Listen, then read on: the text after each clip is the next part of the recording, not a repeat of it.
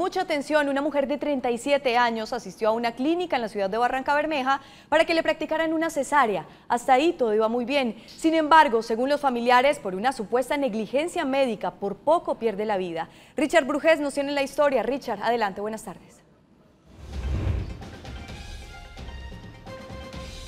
Así es, eh, muy buenas tardes. Pues la situación se presentó el pasado lunes en una clínica de la ciudad de Barranca Bermeja. Allí, Luz Mila Cabarcas, de 37 años, presentó un parto a través de cesárea, el cual se complicó y tuvo que ser trasladada a la ciudad de Bucaramanga, al Hospital Universitario de Santander.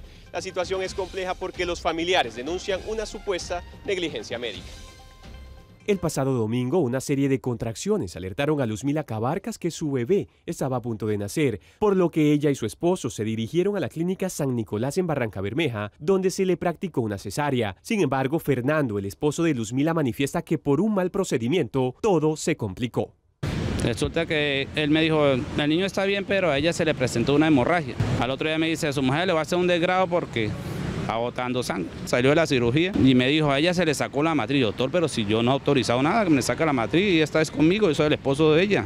Aunque a Fernando no se le informó que le extraerían la matriz a su esposa, creía que con esto su cónyuge mejoraría. Sin embargo, la situación fue diferente. Siguió en las mismas, entonces ella se desesperó y le dijo que la sacara de ahí.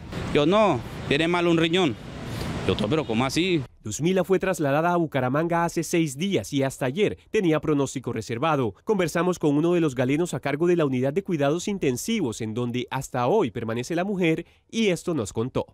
La paciente llegó muy inestable por un sangrado postquirúrgico de un procedimiento que se le realizó de tipo ginecológico en donde hubo una complicación urológica Quisimos conocer el punto de vista por parte de directivos de la Clínica San Nicolás. Logramos contactar con el subgerente de la entidad y esto fue lo que dijo. Cada uno tiene sus derechos y yo no, no voy a hablar sobre el tema. Sin embargo, los familiares de la mujer manifiestan que al igual que ellos, varias personas en el puerto petrolero han tenido inconvenientes con el médico que realizó la intervención. Por ello piden a las autoridades una investigación para determinar la responsabilidad del galeno o de la clínica. Muy bien, pues los médicos del Hospital Universitario de Santander aseguran que la situación para Luzmila mejora. Hoy podría salir de la unidad de cuidados intensivos y pasaría a una habitación. Esa por el momento es la información. Sigan con más de Oriente Noticias.